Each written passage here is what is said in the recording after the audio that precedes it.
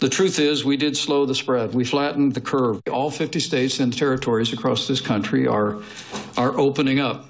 Safely and responsibly。跟川普一样大言不惭，彭斯大赞美国防疫成功，政府功不可没。但数字会说话，光是二十六号单日新增病例突破四万人，超越前一天才创下的新高纪录。全美至少三十个州面临疫情恶化。In the eight weeks since the task force last briefed reporters, over seventy thousand more Americans have died from coronavirus. Infections have surged. 美国疫情不乐观，包括德州、佛州、加州等重灾区。宣布暂缓解封步调，酒吧歇业，餐厅座位砍半，原定重开的店家只能再缓缓，部分区域甚至重启居家令。但状况外的密西根州大肆庆祝年度船艇派对，密密麻麻没距离，丝毫不怕病毒入侵，死神上门。I feel safe, but it's freaking freezing. This water, this water could kill any germs right now. I promise you that. 民众爱玩，超瞎言论。看在被白宫冷冻两个月没开记者会的白宫防疫小组专家佛气。眼里语重心长。What we're dealing with right now is community spread